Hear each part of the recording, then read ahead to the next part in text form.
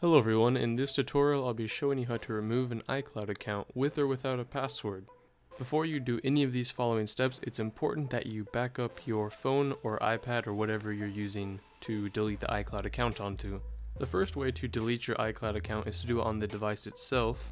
So if we go to settings and we go down to iCloud, so I'm going to go ahead and select sign out and then it will ask us if we want to delete from the device and I'll click on delete from my iPod touch.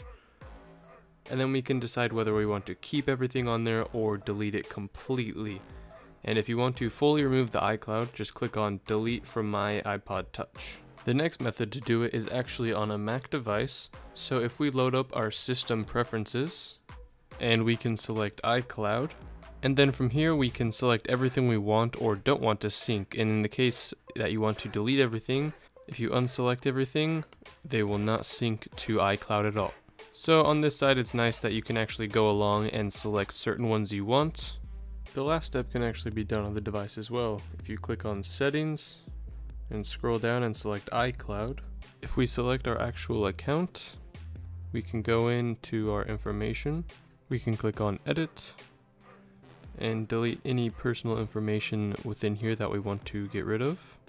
And something else you also want to do after deleting any information is to make sure these are unchecked if any ones that you don't want, as well as keep my iPod touch on should be off.